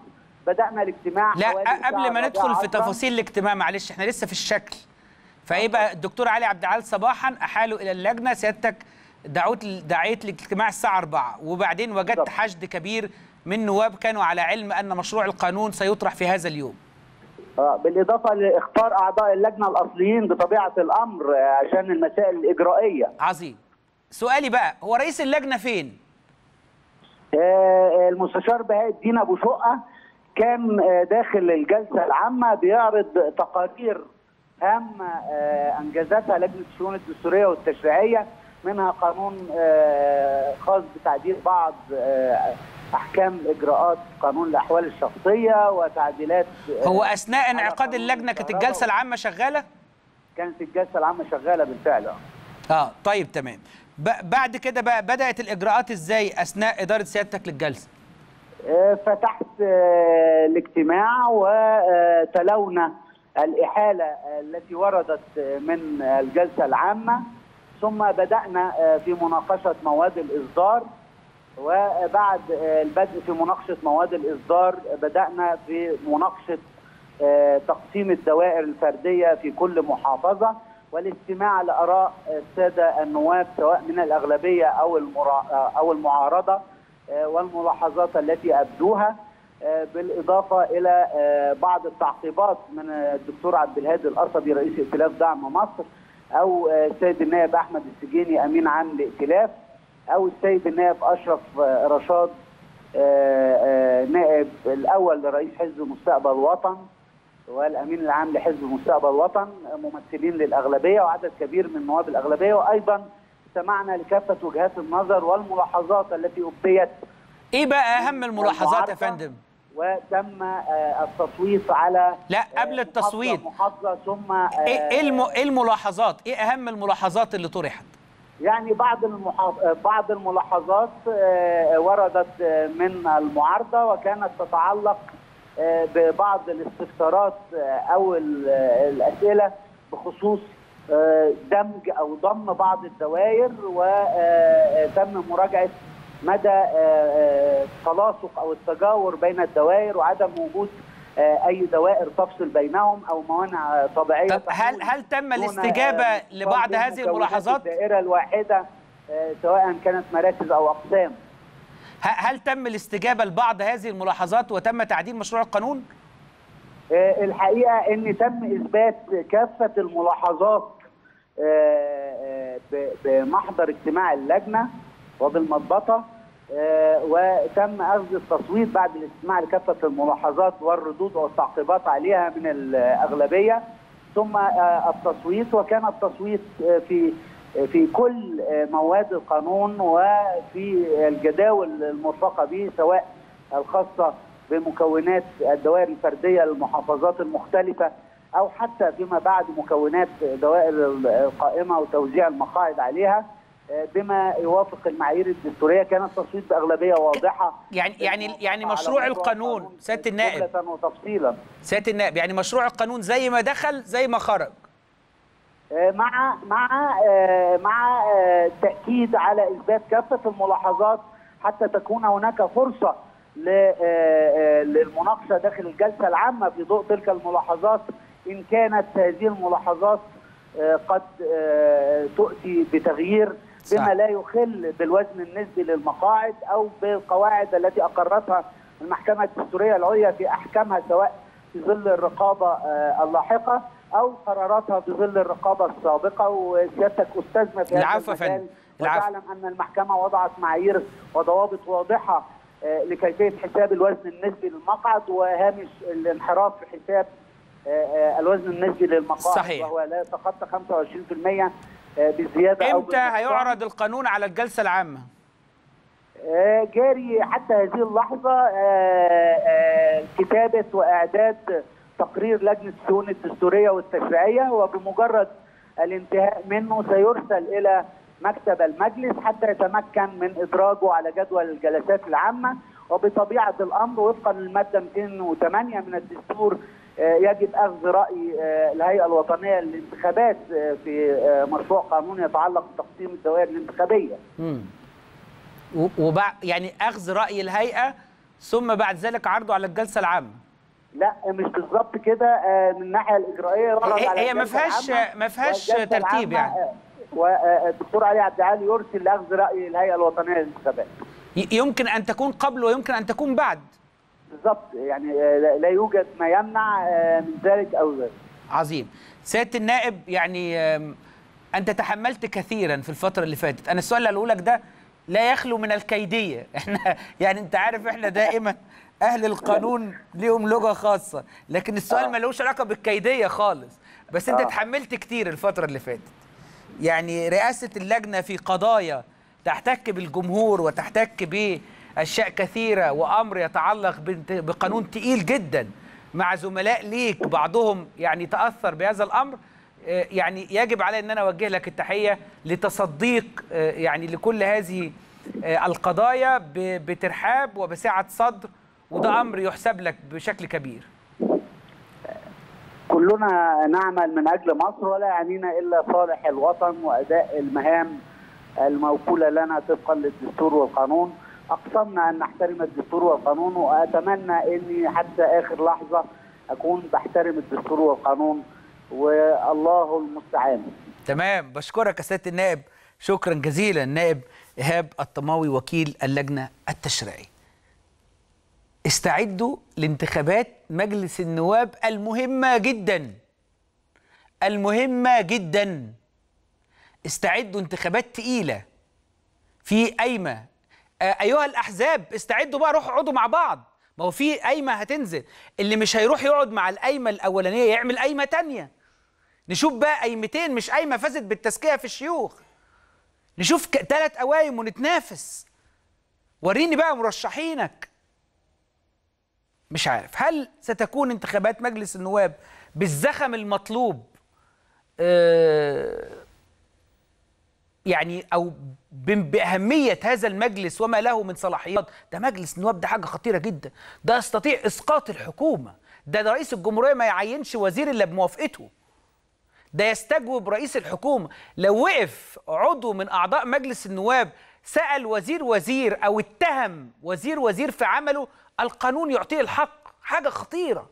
استجواب وطلبات إحاطة وهات لي وعايز الوزير والوزير يجيب و... وده إلزام بقى مش موضوع زي الإعلام كده. أحيانا يبقى دمنا خفيف واحيانا يبقى دمنا تقيل عليهم. لا لا لا. مجلس النواب بقى ده الدستور. رقابة بمعنى الكلمة وتشريع و... أتمنى إن إحنا يعني نشوف أهمية آه، يعني لدى المواطن المصري للعملية الانتخابية في مجلس النواب. أتمنى الحياة السياسية تبقى مهمة زي الحياة اللي فيها تنمية دي. يعني اتناقشوا في الحاجات دي اسألوا عن دعم مصر عن مستقبل وطن عن اللي بيحصل عن السياسة عن اللي رايح عن اللي جاي عن سيادة القانون عن حرية الرأي والديمقراطية. اسألوا عن الكلام ده زي ما ما إحنا قطر طاير في التنمية عايزين برضو قطر في الحتة التانية.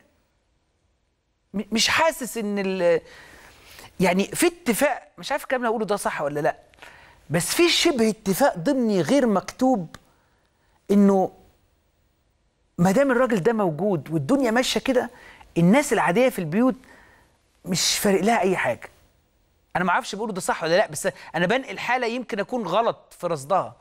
بس يعني زي ما تقول كده إيه إحنا مستأمنينه وال- والعجلة ماشية والدوران ماشي حتى تصدقونا بقى بال كده يعني. ده مهم وده مهم. الناس اللي بتقول إن التاني ده مهم في الوقت ده بيبقى دمها غلس أنا عارف. بس صدقوني ده الأجيال قادمه ما كنا بندرس فرنسا كان بيبقى بنسمع كده شوف الحرية والمساواة والإخاء حرية الرأي وسيادة القانون. كنت ترجع مصر تقول يا رب أشوف يوم بلدي فيها كده. كنت أجي أقول يا رب يبقى مصر ما فيهاش فساد. جه اليوم أهو مصر ما فيهاش فساد. حاجة بقول لك إيه احلف زي ما أنت عايز. والكاميرا دي تسجل علينا ل 100 سنة قدام. 2020 مصر خالية من الفساد اللي فوق. تحت بقى ده الشعب يعني كل واحد بيقبض عليه زي ما أنتم شايفين الرقابة شغالة والنيابة شغالة. لكن طهارة يد عمل بإتقان. ها؟ فاضل بقى نباهي الأمم. نباهي أنفسنا كده ونقول كل الجوانب ماشية في إطار كبير وجميل وراقي بالشكل اللي يستحقه المصريين. أتمنى إن ده يحصل في القريب العاجل لأنه مش حاصل شويتين في اليومين دول. نطلع فاصل ونرجع نكمل باقي أخبارنا في كل يوم. خليكم معانا.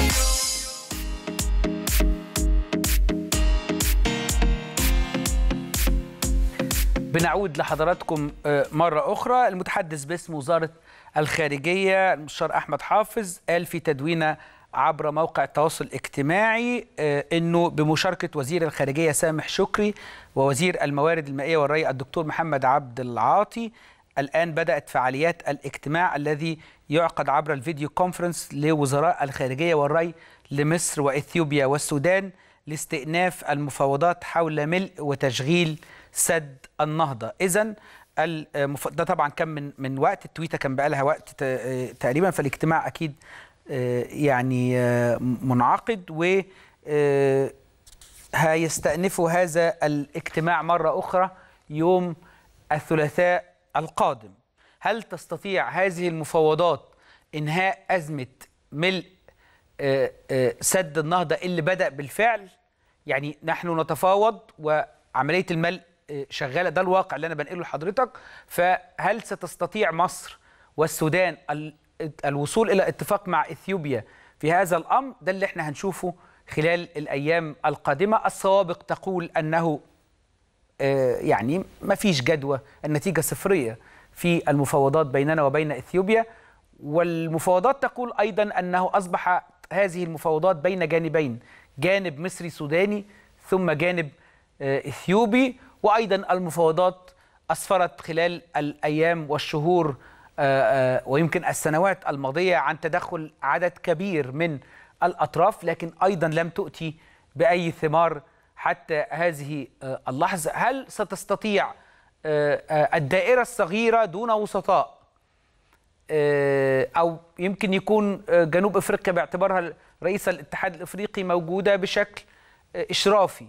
هل ستستطيع هذه الدائرة أن تصنع ما لم يصنعه وما لم يستطيع صنعه الرئيس الأمريكي في البيت الأبيض بحضور هؤلاء الوزراء هنشوف إيه اللي هيحصل وإيه الترتيب ورد فعل آه، الدول آه، آه، الثلاث على نتائج هذه المفاوضات بعد استئنافها ليوم الثلاث يوم الثلاثاء القادم بإذن الله تعالى. في حدث جلل هيحصل زي ما قال الرئيس الأمريكي أننا سنرى اتفاقا بين الإمارات وإسرائيل. الرئيس الأمريكي قال هذا الاتفاق سيوقع في البيت الأبيض. للأجيال الحديثة يعني الصورة دي طبعا حسب التمثيل بقى اللي هيحصل يعني هل هيكون وزراء الخارجية في البلدين يعني طبعا يعني طبعا إسرائيل تتمنى ده ده يبقى لقطة العمر بالنسبة لهم أن يكون الشيخ محمد بن زايد بشخصه حاضرا. ده ده هيبقى بقى يعني يعني هنا هيبقى يعني ال- ال- اللقطة الكبرى هتبقى صورة تاريخية آه، يعني حلم لإسرائيل. إنه يقف رئيس وزراء ويسلم على الشيخ محمد بن زايد. ده يعني ده موضوع بقى يعني هيبقى يبقى أهم صورة بعد كامب ديفيد. لو حضر الشيخ محمد بن زايد في البيت الأبيض ورئيس الوزراء الإسرائيلي هتبقى أهم صورة التقطت بين العرب وإسرائيل بعد كامب ديفيد. مع احترامنا للجميع يعني طبعا في ناس في النص يعني عملت اتفاقيات لكن يعني تقدير شخصي لأنه ما أعرفش الكلام ده صح أقوله ولا لأ بس يعني آه، دوليا الإمارات لها بعد تقيل جدا. والشيخ محمد بن زايد هو مهندس سياسات عربية كبيرة جدا. والغرب عارف كده يعني. وعارف تماما إنه له شعبية كبيرة في الدول العربية تقريبا آه، يعني ما عدا طبعا أنتوا عارفين قطر والشغلانة بتاعتها لكن يعني محمد بن زايد له حب واحترام مش بس احترام باعتباره يعني قائدا عربيا كبيرا لا حب شخصي. حتى في سلوكه اليومي ناس بتحبه الشعوب العربية بتحب محمد بن زايد. وهو قائد من طراز مختلف. وطبعا يعني هو نجل الشيخ زايد رحمة الله عليه اللي ليه في قلوب كل العرب من المشرق إلى المغرب مكانة خاصة جدا. هل سيحضر الشيخ محمد بن زايد؟ هو ده السؤال. هو ده الموضوع. يعني الاتفاقات يمكن أن توقع ويمكن أن تفعل أو لا تفعل. يعني كم من اتفاقات وقعت ولم تفعل وكم من اتفاقات وقعت وفعلت بصراحة يعني كام ديفيد واللي حصل فيها سبب في إن أنت قاعد دلوقتي أرضك في حضنك. قبل ما حد يروح البيت الأبيض اقروا الفاتحة على روح السادات. عشان بس ندي للناس حقها وهو في دار الحق وإحنا في دار الباطل. أي ما تروح أي ما أي عربي يروح البيت الأبيض لو سمحتوا الفاتحة لرئيس السادات. حقه. إيه الحكاية يا أولاد للناس اللي كانت صغيرة وقتها؟ كان عندنا ارض اتاخدت مننا نتيجة تحالف الغرب مع إسرائيل. دخلنا الحرب وإحنا في مقدورنا نكسب بالحرب أسبوع عشر أيام. كسبنا وعورنا إسرائيل وضربناها وأبهرنا الدنيا كلها. جه السادات قال لك حاسب أنا مش هحارب و وهتعمل جسر جوي لإسرائيل. أنا هقف بس هاخد أرضي وهعمل ترابيزة مدورة كده في فندق مينا هاوس هجيب فيه حقوق السوريين وحقوق الفلسطينيين.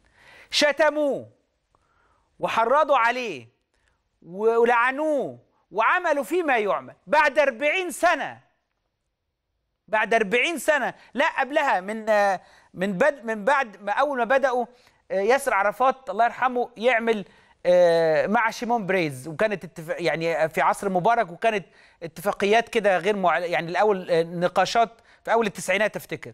آه ساعتها كان كان ياسر عرفات بيتفاوض مثلا على ربع اللي كان طرحه السادات ساعتها. شوف الفرق السياسة اقتناص الفرصة. انت قعدت في طابة قعدت في طابة بالتحكيم وبالسياسة و, و آه، يعني عشان الحق يقال للرئيس مبارك أيضا في هذا الشأن رجعت طابة ما سبتش متر من أرضك. في أرضك في حضنك وأنت قاعد بالسلام.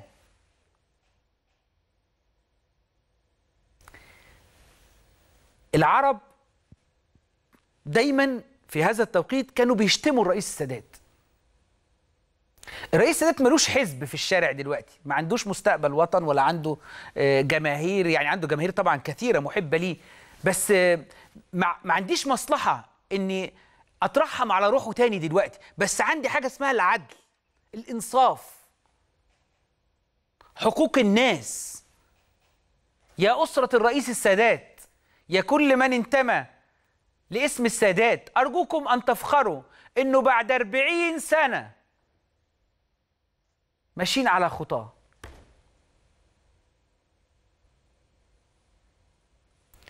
تاريخ بيتكتب تاريخ بيتكتب. ويبقى السؤال الأساسي اللي أنا مستنيه هل سيكون الشيخ محمد بن زايد. طبعا نتنياهو ممكن يبات قبلها ب 10 أيام هناك. ده ده, ده ده هيسلم على الشيخ محمد بن زايد. ده موضوع. هل سيكون حاضرا؟ ده السؤال اللي أنا قاعد ونتنياهو وترامب قال شهر. قاعد مستني وأشوف إيه اللي ممكن يحصل في هذا الشأن. و آه، أنا بثق في هذه القيادة وبثق في حكمتها و... و... وأحب محمد بن زايد كشخص. والاماراتيين بيقولوا له أبو خالد وده حاجة يعني هو بيحس إن هم واحد من واحد منهم ابنهم أبوهم أخوهم الكبير إحساس يعني القيادة الإماراتية متفردة شوية في في هذا الإحساس. أتمنى كل التوفيق وننتظر تفاصيل أكتر عن هذا الاتفاق التاريخي. فاصل نرجع نكمل باقي أخبارنا في كل يوم. خليكم معنا.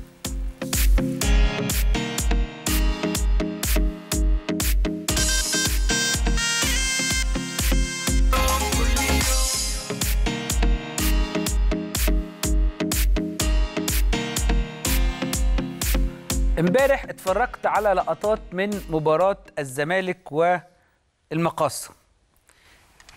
أنا كأهلاوي عايز أشكر الزمالك على حسام أشرف وأسامة فيصل.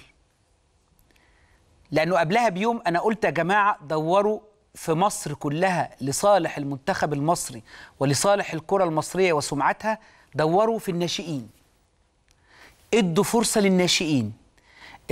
في النهاية إحنا بنناقر بعض بنخبط في بعض هنا بنتكلم. هي دي الكورة يعني. بعض الناس بتزعل شوية وبعدين نرجع نتصالح. خدنا على كده يعني. لكن لما يجي الزمالك يلعب في إفريقيا أنا بشجع الزمالك. لما يجي الزمالك يطلع لي مصطفى فتحي أنا بعشق مصطفى فتحي. لما يجي مصطفى فتحي يطلع يسافر بره في نادي في أوروبا ولا بتاع أنا هكون فخور جدا. إمبارح حسام أشرف وأسامة فيصل طالعين جايين. لعيبة آه، عندها مستقبل. ده عند الناس الموضوعية بقى. إحنا نهزر ساعتين ثلاثة نتكلم كده لكن اللي بجد لا حلو. حلو. يعني يطلعوا في الإعلام ويظهروا ويبقوا نجوم وياخدوا ثقة في أنفسهم ونديهم فرص أكتر. أنا يعني طبعا فريق الزمالك هو حر في حاجته لكن أنا بتكلم كمصر بقى. لأن يعني ده نتاج صحيح وقيم وأنا يعني بقدر جدا إنه ناشئ يطلع ويظهر. مبروك للزمالك ظهور لعيبة بهذا الشكل ونتمنى إن شاء الله آه، يعني ليهم التوفيق في كل آه، آه، مبارياتهم. طبعا مش مع الأهلي لكن يعني كل مبارياتهم التانية بس نشوف اللعيبة دي بتطلع بشكل كبير جدا. بمناسبة الاحتراف لو ما كانش في احتراف هل كنا شفنا محمد بركات وخالد بيبو في الأهلي؟ وأبو تريكة. لو لو ما كانش في احتراف كنا شفنا بركات وخالد بيبو بيبو والجون. كنا شفناهم في الأهلي؟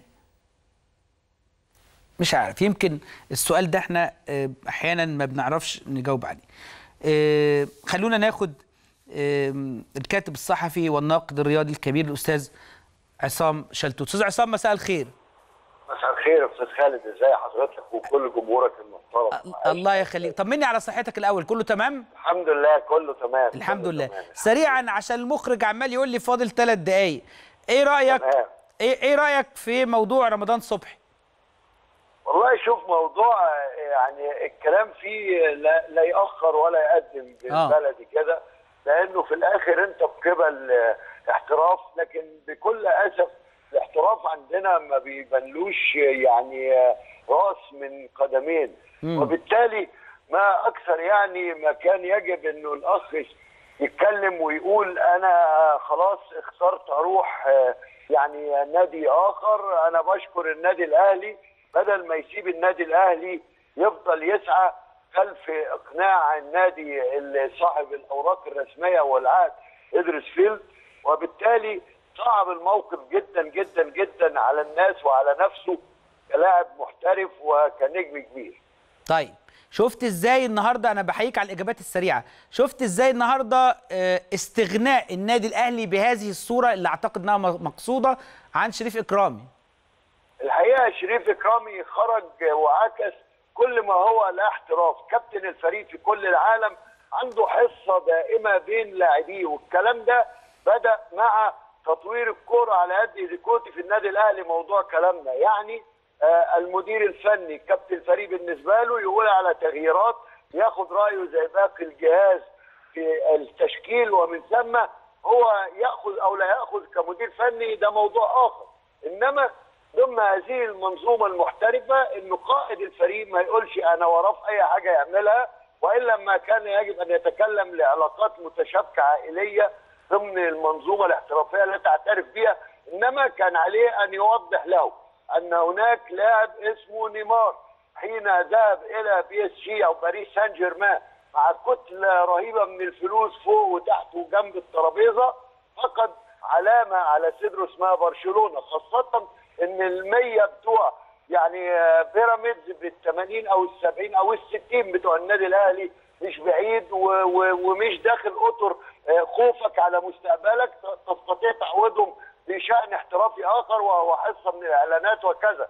لكن مين النهارده حتى بطاطس سيذهب إلى لاعب محترف رمضان أو غيره حين يذهب مع نادي لا يظهر إلا ثلاث أربع مرات والعكس بالعكس على مدار الموسم بينما يعني أنت بتلوم أنت بتلوم على شريف اكرامي في تصرفه. طبعا كقائد لفريق النادي الأهلي حتى تاريخه. ومن ثم الإدارة قالت إنه لا وقت والمركب في عرض البحر هل في ترى هل هل. ترى أن إدارة النادي الأهلي في ملف اللاعبين ناجحة؟ مش بنسبة أكثر من 70% 70 لأن هناك أيضا ما يجب التركيز عليه بطريقة أخرى خالص طريقة احترافية لا تعترف بمنظومة وفاء آه، أواخر الثمانينات في أقصى تقدير. شفت امبارح حسام أشرف وأسامة فيصل؟ ذخيرة طبعا للمستقبل وده اللي لو هنحاسب أنديتنا يا أستاذ خالد كصناعة بقى مش محبين ولا حتى محللين اللي نحاسبه عليه هو قطاعات الناشئين دي معمولة ليه؟ ولماذا فكرة شراء العقد مش العبد يعني ما ينفعش. شراء العقد ولا رباية النجم يعني.